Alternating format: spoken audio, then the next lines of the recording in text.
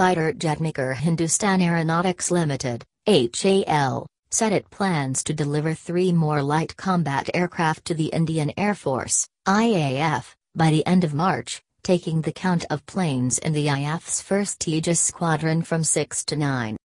With increased level of outsourcing and capacity augmentation within HAL, we will be able to speed up the deliveries to cater to the present and future requirements, said an HAL official, who did not wish to be identified.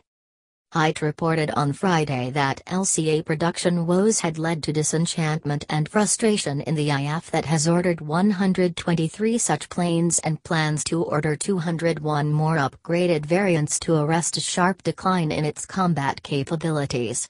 Schedules get disturbed due to modifications made, in the platform, from time to time, the person quoted above said.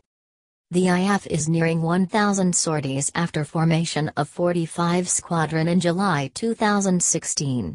It is significant in the LCA program, the official added.